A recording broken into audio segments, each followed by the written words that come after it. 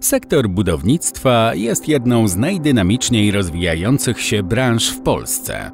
W ostatnich latach standard wykonywania prac budowlanych bardzo się podniósł, a klienci i inwestorzy mają coraz większe wymagania co do estetyki oraz jakości wykonywanych prac. Dlatego tak ważne jest kształcenie wykwalifikowanych specjalistów świadczących usługi wykończeniowe. Technik robót wykończeniowych w budownictwie wykonuje prace związane z wykańczaniem obiektów budowlanych należących do infrastruktury mieszkaniowej, przemysłowej i usługowej.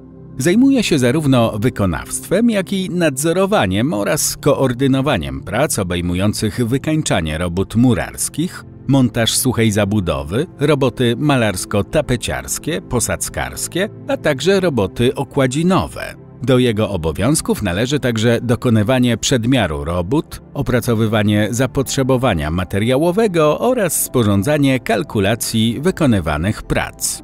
Aby pracować w tym zawodzie, należy wykazać się szeregiem predyspozycji, oprócz ogólnej wydolności fizycznej oraz sprawności układów i narządów, należy także posiadać zmysł równowagi, zdolności manualne, koordynację wzrokowo-ruchową. Aby zdobyć zawód technik robót wykończeniowych w budownictwie po ukończeniu ośmioletniej szkoły podstawowej, naukę należy kontynuować w pięcioletnim technikum kształcącym w tym zawodzie w ramach dwóch kwalifikacji BUD 11 wykonywanie robót montażowych, okładzinowych i wykończeniowych oraz BUD 25 organizacja, kontrola i sporządzanie kosztorysów robót wykończeniowych w budownictwie.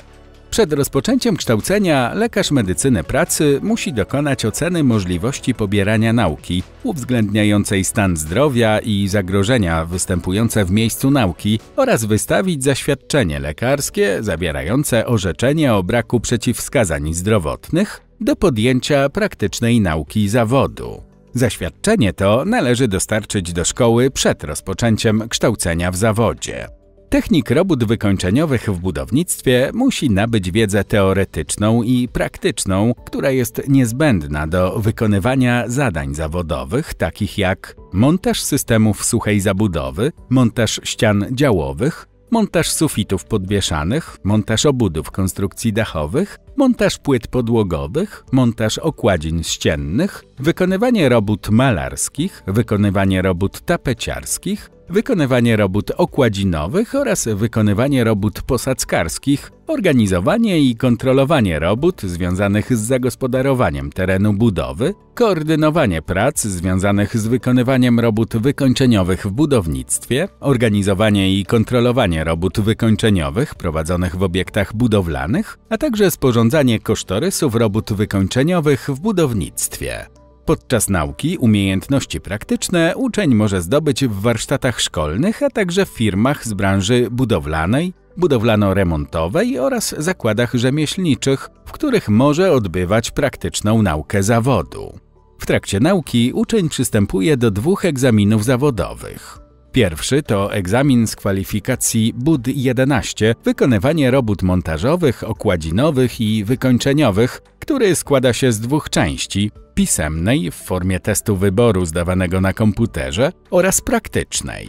Po zdaniu egzaminu zawodowego uczeń otrzymuje certyfikat potwierdzający kwalifikację BUD 11. Drugi egzamin z kwalifikacji BUD 25 Organizacja, kontrola i sporządzanie kosztorysów robót wykończeniowych w budownictwie również składa się z dwóch części: pisemnej w formie testu wyboru zdawanego na komputerze oraz praktycznej.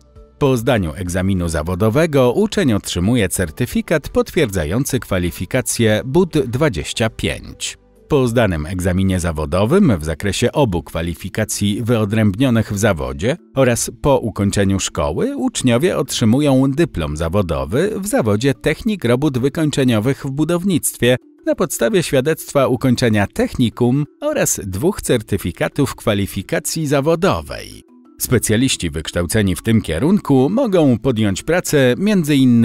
w przedsiębiorstwach prowadzących kompleksowe usługi budowlane, małych i średnich przedsiębiorstwach prowadzących usługi remontowo-budowlane, zakładach rzemieślniczych, wytwórniach i składach materiałów budowlanych, spółdzielniach i wspólnotach mieszkaniowych, firmach zarządzających nieruchomościami, firmach kosztorysowych i nadzorujących roboty wykończeniowe, czy laboratoriach materiałów i wyrobów budowlanych.